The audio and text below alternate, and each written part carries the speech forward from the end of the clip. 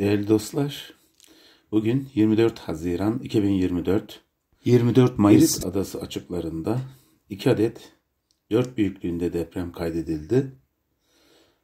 Ee, videoya baktığımızda Girit adasının kuzey kısmında birçok deprem olmuş. 2.2, 3.6, 2.9, 2.9 açıyoruz.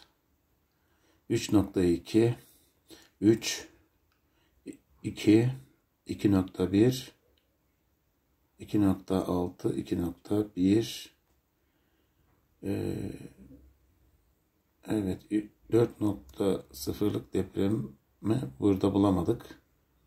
Herhalde düzeltme yapılmış olsa gerek. Şimdi e, Girit adasının e, doğu kısmına baktığımızda 3.0, 2.5, 1.9, 4. Evet.